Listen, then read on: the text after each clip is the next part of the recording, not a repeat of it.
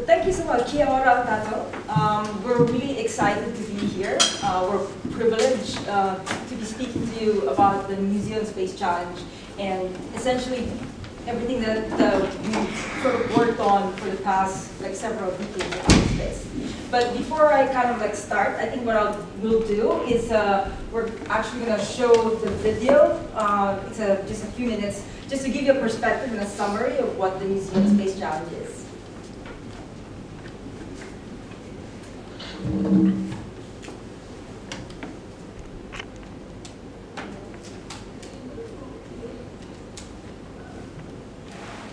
near space Challenge is based on Antarctica. Antarctica is the windiest, coldest, and one of the most isolated places on the planet. And in a lot of ways, it's an analog to Mars. It's an incredibly alien environment for a human to be in. Um, and it's an incredible place to test technology and resources that could be eventually used in space. It's about as close as you can get to leaving the planet without leaving the planet, I guess. This year's challenge is really around solutions to navigate across the terrain in Antarctica. Anything that comes out of this challenge could be highly beneficial to the logistical efforts in the Antarctic to essentially give us better information about what's going to happen to the climate. What we would learn from the challenge can be applied to all of the space exploration missions that we go forward in the future. The whole goal of this is to create an entire uh, community of people that are interested in these kind of projects and share and learn together. students, academics, entrepreneurs, tech companies, people who just like playing around with data, anyone is encouraged to think about the space challenge. It's a great opportunity for people to let their imagination run freely and to then take those ideas and really put the theory to practice. And I can't wait to see what comes out.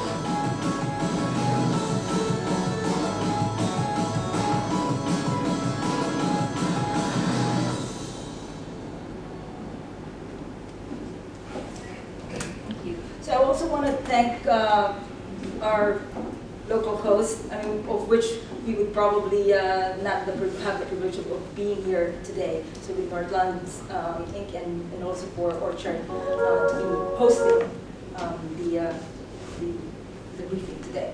So um, we're going to be talking about the New Zealand Space Challenge, but if you permit me, we're going to go first go back and talk about ourselves and why we're here in New Zealand, you know, why space, why New Zealand and space, and why the Space Challenge in New Zealand.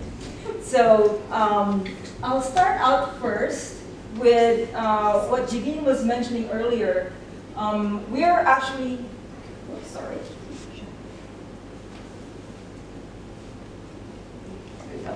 Yeah, so we're fellows of the Edmund Hillary Fellowship Program. So this, this uh, program just started this year.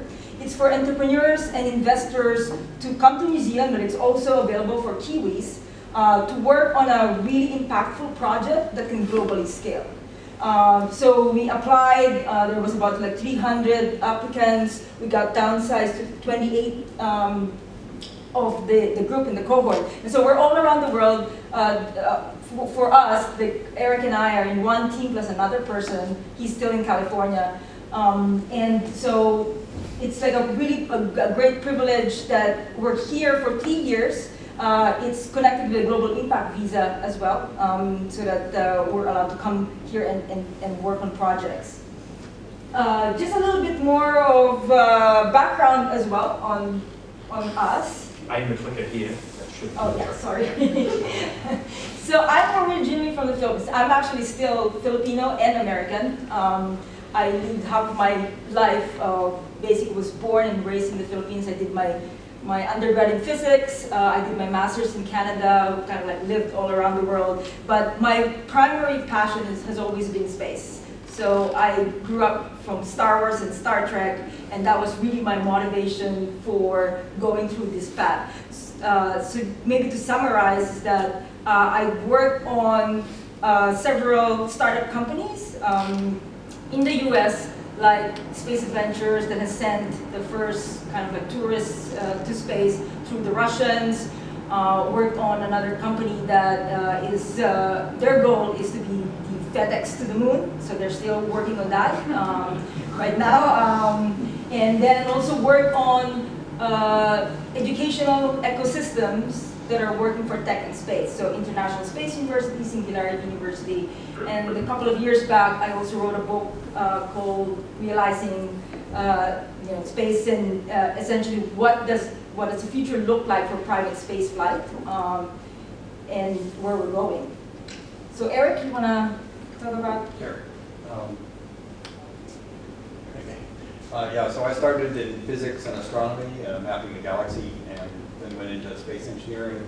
Uh, worked on space station design for eight years or so for NASA, and uh, then also been involved with International Space University for a long time. Uh, taught in 10 countries, and, and actually that's how Emily and I met. We met in France and worked together in Spain, fell in love in Sweden, and got married in Austria. it was complicated. And, uh, and then uh, most recently been working with, in California with uh, startup companies um, and, seeing the power of, of what new technologies can mean for, for companies. And so a lot of our, our friends are the ones who bought rides on Rocket Lab, for example, they've launched from New Zealand. So I mentioned my first passion is space. My second passion is actually impact. Um, I think I am very privileged to have had the opportunity to actually live in a developing world like the Philippines, uh, and then being given the opportunities, like big opportunities, sort of like in different parts of the world. And for me, I want to make sure that that opportunity is also given to everybody. Um, and which is sort of like the main motivation for why we're here in New Zealand and, and what, what the project that we're putting forward um, here for the Edmund Hillary um, Fellowship. Um. So our moonshot is really to democratize space uh, for everyone. And uh, what does that really mean? Uh, it, it's really like leveling the playing field. Today, there's a lot of things that's happening on, in space, especially in the US and in, uh, in China, in, in, in, Russia. But if you really want to have a global economy or a global space economy, you want to basically involve everybody. And so that's sort of what we're, we're trying to do. We, for us, we think that the future of humanity uh, is, is really uh, not just for exploration, uh, but also for resources, um, for sustainability. Um, and so to be able to get there, we want to make sure that everybody is involved.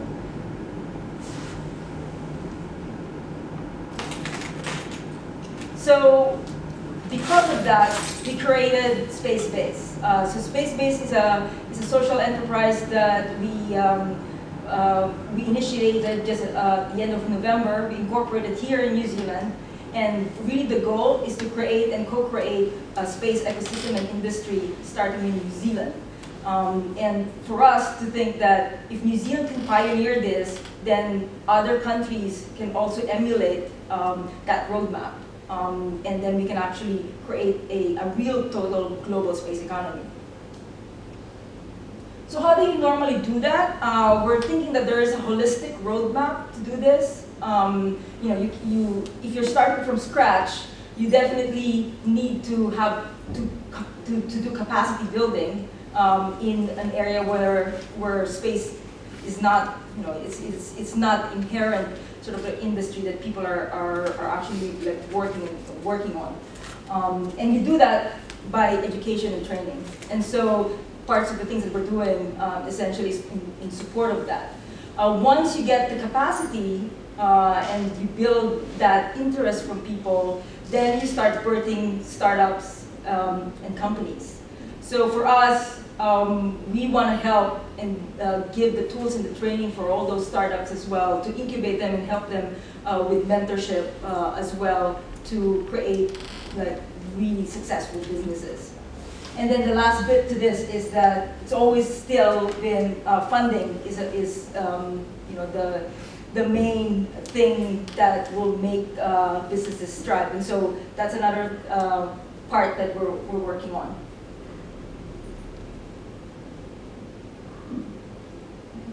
Oops. I can do this manually if you wish. Sorry.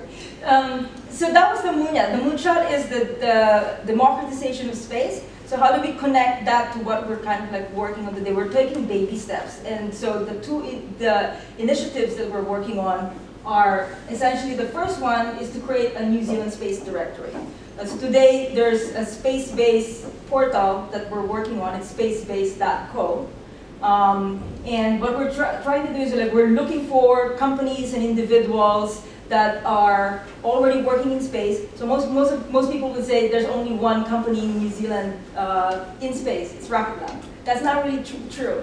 And so when we were looking and researching this, there's at least about 70 companies right now, companies and organizations that are working one form or another in that kind of like uh, supply chain um, for, for Rocket Lab. So uh, there's already those, and I think that that's just the tip of the iceberg. We're still like looking for um, all of those organizations and individuals in the different regions. So for sure, um, uh, I guess one of my asks to you is that if you do know of individuals um, and organizations in Northland, we'd love to know about this. And the second one is the easiest way, at least for us, to, to think of catalyzing a, a space community is to really uh, leverage incentive prizes. So this is where the idea of the New Zealand Space Challenge came about. Um, so incentive prizes are not new. They've been around for ages, and uh, they're used to catalyze uh, essentially industries in the past.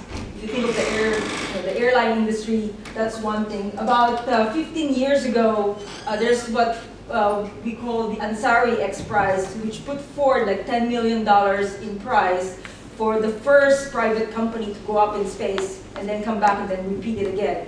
Of which before that, it's only governments um, that have actually um, made it happen. Uh, so with the Ansari X Prize, uh, uh, there was you know, about 20 or 30 engineers with about 20 million dollars, which is a percentage or a small percentage of what like this big uh, like NASA budget um, would have to create a space agency, and they did it.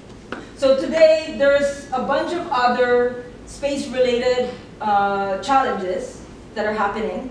Um, and, and actually, there's another one that will happen in May uh, during Tech Week, and it's called Act in Space. This is being uh, coordinated by the Center for Space Science uh, and Technology down in Alexandra. And so uh, that's more like a hackathon, it's a two-day thing, but it's also for the entire nation. So, so uh, make sure to, to take a look at that. But even NASA and European Space Agency, they're also doing all of these applications, uh, uh, challenges to spur ideas. So why, why do we say that, that the challenges are really the, the best or the easiest way to do that? Because for the price of, of one winner, what you're doing is you're catalyzing for one, like a community, uh, you're catalyzing ideas, um, and then you're also uh, catalyzing and building, potentially birthing companies out of them. Uh, the other thing as well that we've, we've found out is that uh, because for the New Zealand Space Challenge, it's, it's regional, uh, it's also uh, an opportunity to highlight the people that are working in space that probably people would not have known that are in your region. Um, so it's a, it's a way of like uh, getting people to stand out um, and then also finding new people.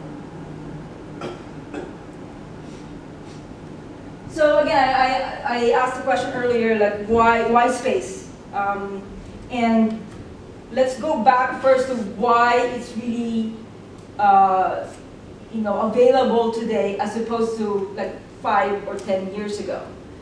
Um, and this is really sort of like spurred by the acceleration of development of technology. Um, I used to work for Singularity University. Uh, that's sort of like our, our, our goal is to really um, educate people on the kinds of like technologies that are happening today. Uh, exponential technologies essentially just means that the price point of computing has been doubling, like uh, doubling of every 18 months or, or, or two years. Uh, so which means that any technology that is powered by computing will also be developing and accelerating at the same pace. So that, which is why like robotics, computing, nanotech, biotech, uh, they're also developing and accelerating at the same pace. And because of this, um, you know, things have, have actually changed really drastically. So one example here is that, that we, you know, we, we take for granted our smartphones in our pockets. Our smartphones, the one smartphone is equivalent to basically the, the, the computing power of your smartphone is 120 million times much more uh, you know, faster and more powerful than all of the Apollo computers in that program combined. And that's just one cell phone today. Uh, so it's just like amazing how we've grown, we've changed uh, in, uh, in terms of like technology. So here's another example. Today, um, you know, we, we get our sort of like our weather data um, from the big satellites that have been launched up in space for millions of dollars. And that's like the normal traditional way of, of, of, of launching satellites. Uh, and then to actually get that data, you need a very big infrastructure like a ground station to also catch that data.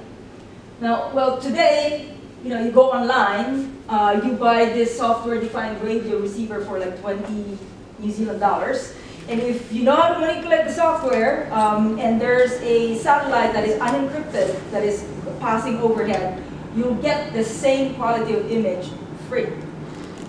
So that's, again, another example of, you know, you, don't need to be anywhere anymore. You don't need to be in the US, you don't need to be in Silicon Valley. As long as you're connected to Wi-Fi and, you've got like the, the technology um, to kind of like analyze, then, uh, you know, you can be New Zealand. Here's another example. Um, this is actually uh, founded, it's a, it's a company in Bulgaria.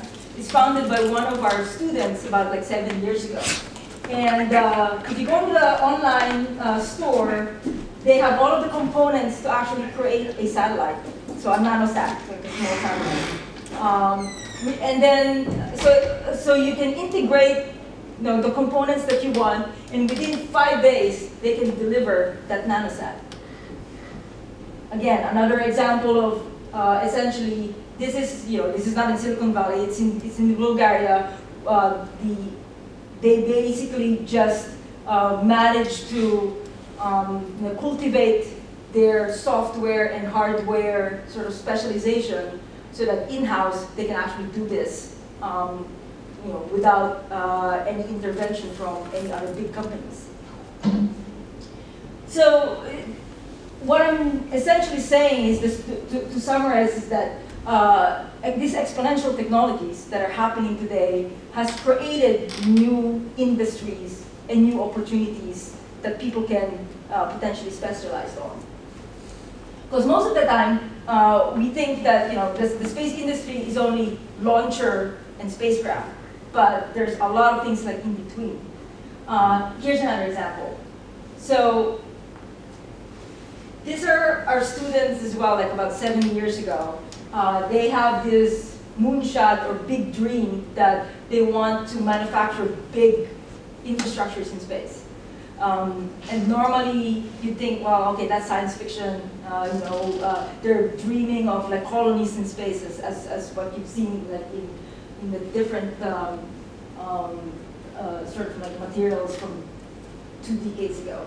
Uh, but they knew how to sort of like connect their moonshot from what they could potentially start with like, today. So what they did was, uh, you know, with 3D printers, which about like five or so years ago is a novelty now, everybody knows what a 3D printer is. But at that time, um, they wanted to make sure that how, how do you um, create a 3D printer that would actually um, you know, function in space. So that was what their sort of their first step, and they did this by doing a lot of uh, experiments uh, in the zero gravity uh, sort of flight. They call it a vomit comet. It's essentially, it's a it's an airplane that's kind of like doing a roller coaster so that you can simulate your your zero g. Um, and so they did that around 2011, and they perfected the technology so much so that by 2014 uh, they they've uh, launched two of their 3D printers up in the International Space Station. Um, and this uh, example here is, uh, you know, uh, the astronaut who lost his wrench um, on station, didn't know where to go. And normally, if you lost something or you act, or or your your um, your tool kind of like gets broken, the next time that you get another one is when the next launch is, and that might be like six months from from then, right? Uh, but because there's a 3D printer now over there, what they did was they emailed the CAD file to the 3D printer up in space, and then when the astronaut uh, woke up in the morning, uh, he looked into the, the 3D printer, and then now he has a wrench. I like this one because they, astronauts never know what they're gonna find when they open up the 3D. printer. They think it's like Christmas all the time. Yeah, so so they started out with just like this small, small kind of like manufacturing equipment, but their big goal is to really manufacture big uh, things in space using uh, not uh, Earth resources and materials, but uh, potentially in the future materials from like the moon or Mars or asteroids. Uh, and now, in this year, actually I think they, they got the grant last year, NASA has given them at least $20 million to sort of like do the, the initial sort of like testing to kind of do this. And I'm, I'm, we're always like proud of this because like they're, you know, seven years ago they were just our students, uh, like knowing that they have this dream of wanting to do something, and now they're they're essentially the first company who has actually manufactured something in space. So it's, it's just it's mind blowing. um, so the same way that uh, this these exponential technologies are now being leveraged by startup companies and entrepreneurs like all over kind of like the world. Uh, the big companies also um, are using this, uh, these technologies. Like you, I mean, of course, you've heard of SpaceX, where kind of like two weeks ago, just like sent his his, his uh, like his Tesla to space. um, and um, but so they're, they're now leveraging all of these uh, technology uh, as well for big missions. So now um, the CEO of Amazon, Jeff Bezos, also has his own rockets and he wants to go to the moon. Uh, Elon Musk wants to go to Mars. Um, and even the big uh, uh, sort of consortium of aerospace companies like Boeing and Lockheed, uh, called ULA, they're, they're also like looking at cislunar kind of missions. Um, so there's like a lot of excitement for this. But again, still, these are really big, multi-billion dollar like missions. So where does like New Zealand kind of like factor in this this thing? Um, again, as I was like saying, there's this supply chain. You you see the big kind of like missions on the on the, like the tail end here, and then uh, I just point out that you know Rocket Lab, um, who now has uh, its own niche, meaning that it, uh, it has like uh, the ability to actually launch smaller payloads, so which means that all of these small uh, satellites can now uh, go up in space more frequently uh, as well. So they're in a niche market, um, which is great. But you know, everything in between is up for grabs. You know, so like for example, with New Zealand, I always think that um, you know, food is, is uh, uh, something that has been kind of like in the, the main focus for, for, for the country. But then, you know, in terms of space missions, we need to have, uh, you know, food processing and, and, and, um, and understand that really well for long duration missions in the future. So, so you know, food to habitation, um, to life support systems, these are things, sensors, these are things that will be needed and anybody can actually play in that market. So again, just emphasizing that all of these big rockets are working on, on the transportation. So how do we get from here to there? But anything inside, again, is also up for grabs because they're only focusing on the launcher. They're not focusing on anything that's inside uh, that, will, that will help humanity kind of be uh, sustainable in a different uh, environment. Oops. Um, so the analog here is today, you know, New Zealand is uh, well known for uh, supporting Antarctic research and operations. Um, and that's, yeah, this is a picture of one of our friends who just went to Antarctica. And, and so for us, if you look at that and how New Zealand like supports Antarctic uh, operations, the analog is like in the future, when we are going to have like all of these big missions and, and, and big space uh, um, opportunities, then that could also be another way of like New Zealand being able to support those missions. So it's another thing to kind of like think about. Um, and uh, going back to the question again of like, okay, so now we understand why space is, is uh, now in everybody's mind and, everything is, is not being democratized, that uh, it is now much easier than before, but then why, why New Zealand? Um, so there's like certain elements that you need to actually have a sustainable space industry. Um, and so, but not all, and there's a lot, there's several countries today that are really interested in, in, in doing that, but New Zealand really ticks a, a lot or maybe a majority of the boxes than most of, at least the countries that I've seen who are, who are interested. So one of the reasons is that I actually think that New Zealand has a progressive government that is moving fast uh, to create those policies and regulations that would make space businesses thrive, which is what happened with Rocket Lab. Uh, there was no policy for like launching until like Rocket Lab actually happened, and so now they now have a policy. So that's one. The other thing is that New Zealand's isolation is actually its benefit. The location of New Zealand of not having anything in the east and not having in the south um, makes it uh, more uh, better for launching because you can actually launch more, um, more of, in, like more frequency of launches, and then there's more launch angles as well available. Um, and the reason for um, for that is that there's not much air traffic that's happening kind of like in this area uh, of the world. Well, if you're you know if you're in Florida, like the uh, the Kennedy Space Center in the U.S. Um, or the Europeans like main uh, launch facility, they're all basically like air traffic is just horrendous, and this is why they can't really launch more frequently. But here, uh, that's that's an opportunity. The other thing as well is that uh, there's already an existing, you know, educational and technical um, and entrepreneurial communities kind of like scattered around New Zealand, which we've actually seen while we're doing all of these briefings, which is, I, think it's great to see uh, like uh, Orchard here um, kind of like doing that.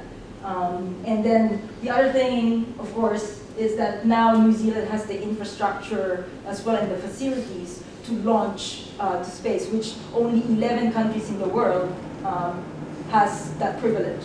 So New Zealand now kind of like is a, is a for real, a, a spacefaring nation with having that capability that Rocket Lab just uh, so happened to, to, uh, to now have. Um, and I, lastly, I think it's really more about also the culture. I think Kiwis are explorers. Um, it goes all the way to the Māori and the Pacific nations coming to New Zealand um, from Polynesia as being explorers. And then the, the, the, other step to that is like what, what, we talked about, where New Zealand is supporting Antarctic explorers. Um, and then so what is the next step? The next step is like, you know, supporting space explorers. So, oh, Eric, you want to... Um, oh, there's my uh,